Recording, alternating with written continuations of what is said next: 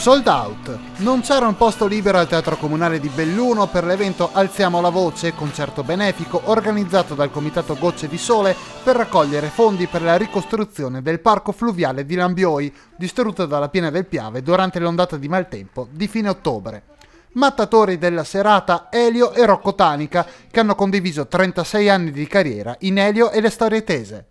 Io mancavo da Belluno e dintorni esattamente dal 2008 sono 11 anni da che abbiamo suonato qua. Quello che ho trovato di intatto è la gioia delle persone che si guardano in faccia e che ti accolgono, anche dopo aver trascorso momenti difficili come quelli che tutti sappiamo. Speriamo che questa sia non non l'inizio della rinascita perché secondo me la rinascita è già cominciata ma che sia un bel prosieguo in modo che questa cosa resti un cattivo ricordo per le cose brutte che sono successe è un bellissimo esempio anche per gli altri che capiscono che unendosi si possono fare grandi cose sul territorio e con le persone.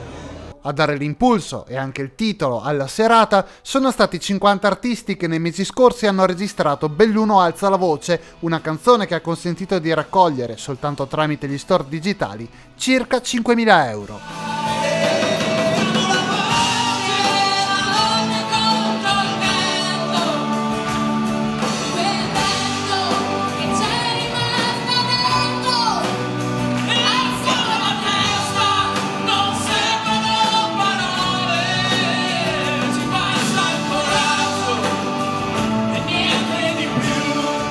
Durante la serata sono saliti sul palco anche i 38 corde, il cantautore Lelio Morra, il violinista e direttore d'orchestra Andrea Moro con il tenore Domenico Menini e il pianista Alessio Nelli e il mezzosoprano australiano Anna Fraser. I fotografi di Luci sulle fronde hanno donato 10.000 euro e poi ci sono gli incassi della serata. Grande emozione anche nel vedere la risposta da parte del pubblico, nel vedere i video, è stata una, veramente una serata commovente, coinvolgente. E credo che rimarrà insomma, un bel ricordo per tutti quanti. Quanto avete raccolto? Ma eh, per la serata all'incirca 10.000 euro.